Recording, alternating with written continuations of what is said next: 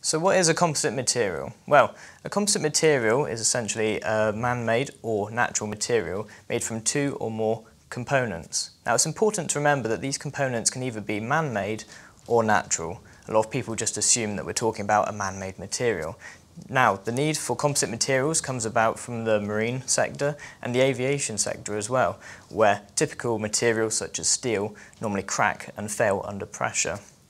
Now, if we take a look at a common example of a composite material that we use in the marine industry, uh, which is fiberglass. Now, fiberglass is made from two components. It's made from glass fibers and it's also made from, more often than not, a polyester resin, which is the matrix. Now, these glass fibers are classed as the reinforcement, and the reinforcement is essentially what gives this composite material the strength properties that we need over steel or traditional materials.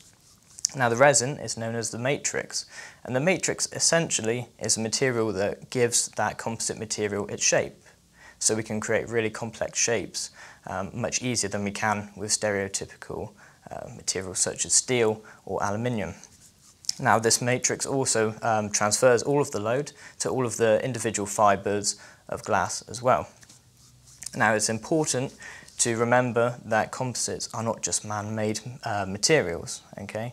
Now, whenever we talk about composites, people assume that we're talking about a material that's suited for the marine industry, aviation, aerospace, or for specialist situations like pipes and fixtures. It's not. Composites derived from a natural setting, wood. And although you wouldn't think it, wood itself is a composite material. It's made from wooden fibres and it's also held together by its own matrix called lignin. I hope you found this short video really interesting. If you have, we have a wide selection of free workshops and courses covering a wide range of GRP and composite courses. To find out more, inquire or apply by following the link in the description or go to South Devon College, Smart Skills, Composites.